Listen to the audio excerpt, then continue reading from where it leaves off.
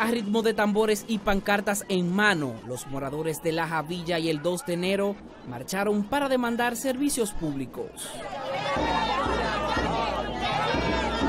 Siguiendo las calles de la, eh, la, Javilla y el 2 de enero, que tenemos más de 35 años sin asfalto. Que le vamos a dar un compás de espera para que ellos vengan a esta comunidad y nos brindan los servicios.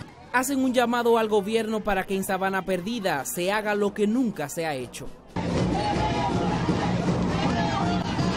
Más seguridad policial en la zona y la terminación de una policlínica forman parte de las demandas de los manifestantes. El alcalde tiene que terminar una policlínica, se dijo que se iba a entregar ahora de enero a febrero y todavía no han hecho nada, está parada.